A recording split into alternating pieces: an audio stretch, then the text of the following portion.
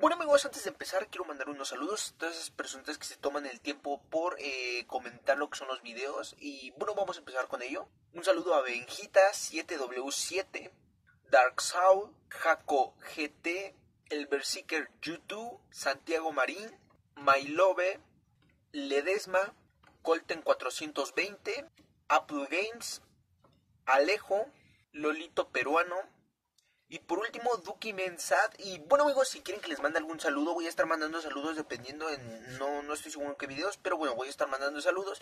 Y voy a estar tomando los saludos de los comentarios. Que les recomiendo que compartan, den like y dejen su comentario. Y bueno, vamos a empezar con ello.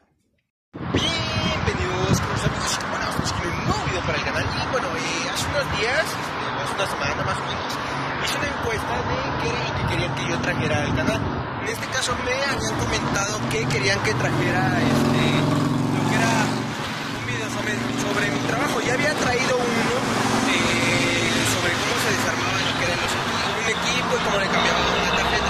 Ahorita voy a tratar de hacerlo un poquito más eh, largo, pues, para que vean un poquito mejor el proceso de cómo, cómo reparo un equipo y todo eso. Eh, ahorita ya casi estamos por llegar a sitio, de hecho este, ya estamos creo, si no estoy mal, enfrente de la empresa a la que vamos a ir a, reparar el equipo. Entonces, bueno, vamos a hacer una pequeña pausa en lo que estamos ahí y bueno, volvemos, ¿vale? Hace un poquito de calor, demasiado calor hace, diría yo. Bueno, aquí lo que hacemos es hacer una prueba de encendido para ver si el equipo funciona o no funciona. Aquí checamos que no funciona, ¿ok? Eh, de hecho, eh, si recordarán el video anterior que traje de cómo trabajaba y cómo desarmé el equipo, es el mismo equipo el que había quedado pendiente, que había quedado lo que era mal la motherboard. Eh, pues sí, de hecho es el mismo equipo, pero eh, bueno, ahora ya me llegó otra motherboard que es la que vamos a estar probando. Y bueno, vamos a ver eh, lo que le sigue. Ok, aquí lo que estoy mostrando es que ya le quité lo que son unas pequeñas gomitas que tiene en los orificios, ahí se pueden apreciar, y lo que son los tornillos, eh, mostramos cómo se retira lo que es la, la, tapa, y bueno, mostramos un poquito lo que es la motherboard, vamos a lo que le sigue, ok, aquí eh, importante, bueno, que se va a ver en el siguiente clip, bueno, vamos a, a él mejor, ok, aquí eh, en este clip ya les mostramos, o bueno, se muestra lo que es el primer paso antes de intervenir lo que es un equipo, que es el, paso de retirar lo que es la batería, porque eh, para poder intervenir el equipo eh, de manera correcta se debe de quitar todo tipo de corriente, se debe de desconectar del cargador y de retirar lo que es la batería. Entonces, bueno, eh, aquí se muestra esto y bueno, vamos a lo que sigue. Ya aquí en este paso eh, podemos ver, eh, no sé si apreciaron ahí donde decía M2.5.5 si no estoy mal, eh, es lo que es la medida de los tornillos y bueno, se retiran todos los tornillos de la base. regularmente en los equipos HP siempre traen lo que es un, este, siempre traen la medida de los tornillos, entonces es muy fácil identificar en dónde van tornillos y en dónde no van los tornillos. Entonces se retiran todos los tornillos, se quita lo que es la base metálica para poder retirar lo que es eh, posteriormente la, la motherboard, ¿ok? Después de retirar lo que es la, base, se procede a retirar lo que es todo, todos los componentes que están conectados al equipo, eh, lo que son membranas que están conectadas, conectores, eh, memoria RAM, el heatsink, que es lo que es el sistema de enfriamiento, el disipador, el fan, el teclado y todo eso se procede a hacer lo que es eh, retirar lo que viene siendo todas, todas estas piezas, ¿ok? Aquí como podemos ver estamos retirando lo que es el teclado. Muchas veces eh, en algunos modelos de, de HP si mm, puedes retirar lo que es el top cover y puedes quitar la motherboard. Pero eh, siempre, siempre tienes que quitar lo que es el teclado para poder retirar lo que es la motherboard. Porque muchas veces tiene el teclado trae lo que son este o en esta pequeña base que pueden ver eh, trae tornillos que no dejan que se zafe lo que es la base del top cover que es esta parte de arriba. Entonces por eso se quita lo que es el teclado y de igual forma ahí trae unos conectores o membranas, eh, puede ser la bocina, puede ser el del lector de huella, el del touchpad o algún otro conector que se tiene que retirar de igual forma para que la tarjeta salga libremente, ¿ok?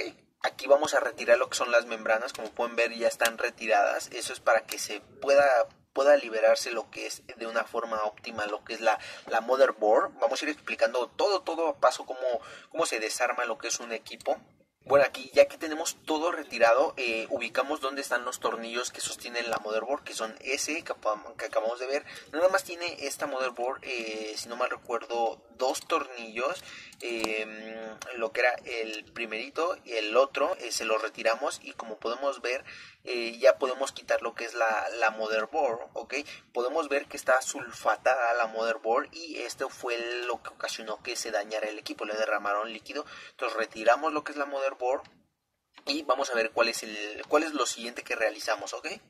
Ok, una vez que se retira lo que es la motherboard, se procede a destapar lo que es la otra motherboard que está en una bolsa antiestática eh, y viene sellada. Entonces eh, aquí vamos a hacer un pequeño corte porque eh, sí me costó algo de, mm, trabajo abrir lo que fue la, la motherboard. Entonces aquí ya y es un poquito difícil estar grabando y estar sacando lo que es la motherboard vemos que aquí la motherboard eh, está bien se tiene que revisar que esté en óptimas condiciones que no tenga ningún conector roto que no este tenga alguna algún segurito donde van lo que son las membranas, ya sea el del teclado o alguna otra, esté rota, entonces se verifica, una vez que se verifica, se procede a hacer el cambio, que es lo que vamos a ver en el siguiente clip. Ok, aquí ya la colocamos y podemos ver que la otra este, la pusimos sobre la bolsa antiestática para eh, no, no, no estarla dejando por cualquier lado porque se puede dañar de todas maneras. O sea, ya está dañada, pero se puede, no sé, a lo mejor romper o cosas por el estilo y se tiene que regresar la pieza intacta. Intacta, así como la encontramos, se tiene que regresar eh, a lo que es HP. ¿Ok? Y bueno, ya es este, en esto podemos ver que ya es hacer prácticamente los pasos que ya vimos, pero a la inversa. Ahora en vez de, desconectar lo que son todos los componentes, vamos a ir conectándolos, pero vamos a hacer lo que nosotros llamamos eh, una prueba en configuración mínima, que es nada más conectarle el botón de encendido, eh, una memoria RAM, el display, eh, y sin batería conectar lo que es el cargador para ver si el equipo enciende. Aquí estoy colocando mal el cargador nuevamente. Vale, ya lo colocamos de forma correcta. Pero eh, aquí tuve un pequeño error. no tenía conectado de forma correcta lo que era el, el botón de encendido entonces eh, bueno aquí ya podemos ver que, que ya este, estoy mostrando que estaba desconectado bueno no lo mostré como tal pero mm, lo señalé ahora sí esto se hace para un ejemplo, si la motherboard estaba, la anterior estaba quemada, eh, probar que, qué componentes funcionan. Así en configuración mínima, sabes que la motherboard llegó funcionando y si vas conectando y a lo mejor se quema cuando conectas lo que es este lector de huellas, ya sabes que el lector de huellas es lo que está quemado y lo que está ocasionando esta falla. Entonces aquí esperamos unos segundos a ver este que encienda. Vemos que el equipo enciende en cuanto el equipo, ahí nos manda uno de de lo que es el tamaño de la memoria porque el equipo cuenta con dos memorias RAM. Entonces nada más le colocamos una y por eso manda un error de, memoria ok vamos a, a lo que sigue bueno, ahora que ya vimos que sí funciona, eh, tenemos que hacer lo que es ir conectando los componentes, irlo probando uno por uno. Eso ya es un poquito lento, entonces eh, ya nada más mostré cuando se conecta lo que es el teclado. Eh, ya habíamos conectado algunos otros componentes, entonces aquí se va colocando el teclado. Debe de estar perfectamente, este, tienen algunas grapitas en lo que son los costados, este, que deben de embonar bastante bien. Vean, ahí me faltó una, ok. Se tiene que presionar, hacer algo de presión para que quede bien el el, teclado y no, no se esté zafando o quede de un lado más abultado que de otro, ¿no? Debe de quedar parejo, ¿ok? Ok, aquí lo que hacemos es limpiar el disipador para poder este, colocarle nueva pasta disipadora, obviamente. Este, aquí vamos a, hacer un pequeño corte. Ok como vemos ya lo, ya lo limpiamos debe de estar limpiecito. Y eh, también se tiene que limpiar la motherboard dañada este por si acaso aquí hacemos una pequeña pausa abrimos lo que es la nueva pasta disipadora y la colocamos sobre lo que viene siendo el procesador y el chip de video que en este caso vienen juntos. Se pone a un ladito para no ensuciar y el heatsink o disipador como le quieren llamar ya está limpio se coloca se debe de colocar lo que es el eh, en buena posición para poder este evitar este que el equipo se sobrecaliente más que nada eh, como se hizo un cambio de placa se debe de cambiar todo o sea es un mantenimiento preventivo y correctivo se deben de limpiar los componentes en dado caso de que tengan polvo o cosas por el estilo para evitar eh, sobrecalentamiento ok Ok, bueno, ya después de colocar lo que viene siendo el headset, se colocó la base, se le colocaron los tornillos, se colocó todo, todo como tal cual estaba. Se coloca por último la batería. La batería siempre es el último componente en colocarse, ¿ok? Eh, ya se le había colocado lo que es el disco, ese traía un disco de estado sólido, eh, no trae disco mecánico, se coloca lo que es la, la batería, se pone lo que es la tapa, se vuelve a cerrar, este para eh, que el equipo ya, ya quede como tal, ¿ok? Ahí y bueno, aquí ya nada más por último, eh, estas son unas pruebas de diagnóstico que eh, nosotros les llamamos pruebas WEFI, o bueno, no les llamamos, se llaman pruebas WEFI de diagnóstico. Esas las pueden encontrar este, en la página de HP directamente, ponen o googlean este, WEFI Diagnostics o WEFI Diagnósticos o pruebas WEFI y los mandan a una página de HP directamente donde están al público, las pueden descargar. Si tienen un equipo HP, las pueden descargar descargar, eh, pueden crear una memoria USB con esas eh, pruebas y ejecutarlas. Eh, apagan el equipo, al momento de encenderlo aprietan lo que es la tecla F2 y con eso ingresan a las pruebas de diagnóstico. Esto lo que les hace, dependiendo de la prueba que le corran, esta es una prueba acelerada, la cual te verifica lo que viene siendo la batería, seguidamente el módulo inalámbrico, Después de eso te verifica el DST de corto de la unidad de disco duro, eh, luego el disco duro, eh, memoria RAM, em, no, no, no, miento, es batería, módulo inalámbrico, procesador, si no estoy mal, DST de corto de la unidad de disco duro, el disco duro, memoria RAM y placa del sistema. Hay unas, eh, esa es la prueba acelerada, pues la, más rápida, hay una que es prueba rápida que te eh, hace las mismas pruebas pero verifica un poco más de sectores del disco duro y de la memoria RAM hay una prueba que es extensa, esa prueba, esta prueba tarda unos, como pueden ver ahí dice 26 minutos, regularmente tarda unos 7, de 7 a 5 minutos, depende mucho de cuánta memoria RAM tenga y de cuánta capacidad del disco duro tenga si tu disco es de 500 GB te la va a hacer así, pero si tu disco es de 1 tera y tienes uno de 500 de sólido, se va a tardar muchísimo más. Eh, también si tienes 2 GB de RAM y medio tera de disco, te la va a hacer así, pero si tienes, como les digo, tera y medio de disco en mecánico y sólido y tienes 32 de RAM, pues se va a tardar mucho. Eh, hay una prueba que es eh, la prueba extensa, que esa tarda regularmente 3 horas, más o menos, de 2 a 3 horas, dependiendo este con pongámosle requerimientos de un disco de un tera y unos 8 de RAM. Si ya tienes más RAM, pues obviamente se tarda más.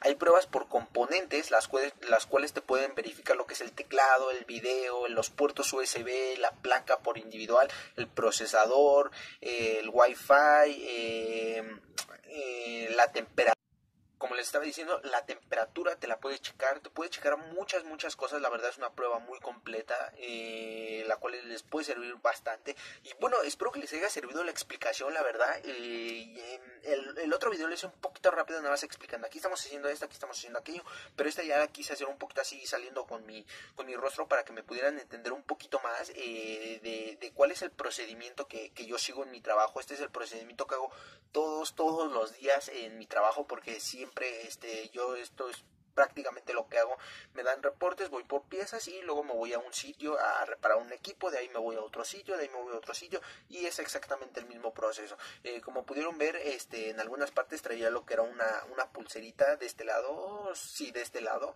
una pulserita que es una pulsera antiestática, traigo una bata antiestática eh, y el tapete donde trabajo es antiestática, todo esto para evitar que se dañen los componentes. Como pueden ver, cuando saqué la motherboard nueva, en una bolsa antiestática.